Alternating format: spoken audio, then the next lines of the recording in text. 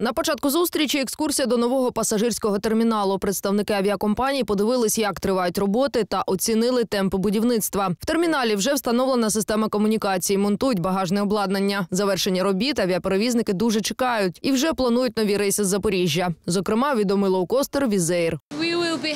Ми почнемо наші рейси із Запоріжжя з 30 березня 2020 року. А по чому, по чому їздити будемо? How much?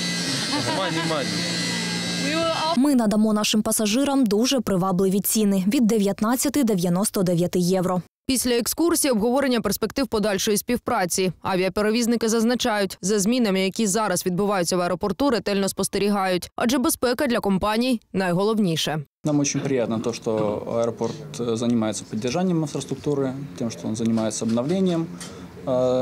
Э, Взлетно-посадочной полосы в первую очередь. Я думаю, что запуск светосигнального оборудования, системы захода на посадку, э, оно намного улучшит э, и навигацию в ночное время, и в период зимней навигации. Втім, встановлення світлосигнального та радіолокаційного обладнання це ще далеко не всі зміни, які чекають на Запорізький аеропорт у наступному році.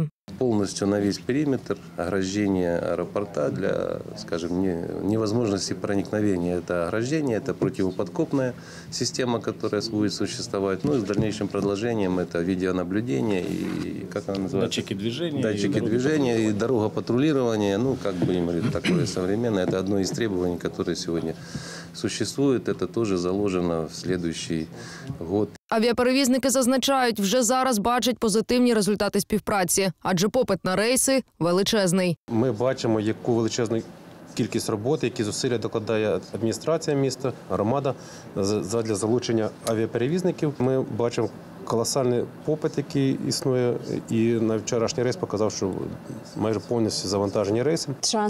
Для мене велика честь і задоволення спостерігати будівництво нових об'єктів та як відбувається процес трансформації. І ми дуже задоволені тим, що Запоріжжя приєднається до мережі нашої авіакомпанії. І всі ці зміни стали можливі лише завдяки запоріжцям, зазначив міський голова. Саме коштом міського бюджету за чотири роки вдалося колись неприбуткове підприємство вивести на якісно новий рівень та зробити його одним з головних джерел надходжень до міського бюджету. Кошти, які вклали сьогодні громада міста Запоріжжя, кредитні кошти е, державних банків, а також е, кредит, який взяв на, на себе підприємство Міжнародний аеропорт Запоріжжя. Це будемо так казати, кошти громади. Запоріжжя аеропорт розвивається. Коли хтось питав, як його як він воно буде називатися. Буде так і називатися Міжнародний аеропорт Запоріжжя, без всяких там імен, тому що кошти, які були виділені громадою міста Запоріжжя, і громада, і жителі заслуговують того, щоб воно цей аеропорт називався Запоріжжя. Дарі Купліченко, Іван Дем'яненко, ТВ 5